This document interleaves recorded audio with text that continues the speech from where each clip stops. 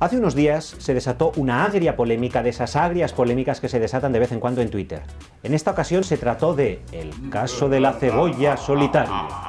La verdad es que es un asunto terrorífico. Como indicó el científico ambiental Andreu Escriba, denunciante del Cebollagate, es la única cebolla que hace llorar sin tener que cortarla. Sin embargo, a pesar del debate, no creo que este drama sea la causa por la que cada vez más los consumidores preferimos comprar los frescos online en lugar de ir al súper. Según el estudio Global Connected Commerce de Nielsen, estamos ya totalmente acostumbrados a comprar online los billetes de avión, por ejemplo, un 55% de los usuarios de Internet lo hace así, las entradas para la gira Operación Triunfo un 41% y esa hamburguesa gourmet de la otra punta de la ciudad un 27%. Del mismo modo, este y otros estudios muestran cómo pronto preferiremos no tener que ir al súper para comprar lechuga, 150 gramos de fuet o ese brie que nos vuelve locos. Comparado con otras categorías de productos, los frescos están creciendo año tras año, y más que lo harán, pues todavía tienen margen para crecer. Según el citado estudio de Nielsen, uno de cada cinco internautas a nivel global ya habían realizado alguna compra de supermercado por este canal.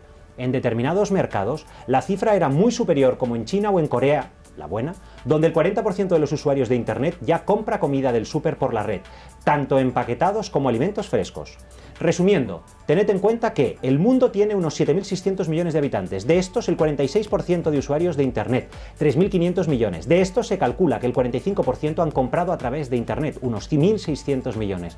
Pero de todos los usuarios de Internet, el 24% ha comprado online. Productos empaquetados de supermercado y el 21% productos frescos. Es decir, más de 300 millones de personas en todo el mundo. Una cifra que sigue subiendo año tras año. Es como si toda la población de Estados Unidos comprara los lenguados y el agua por Internet.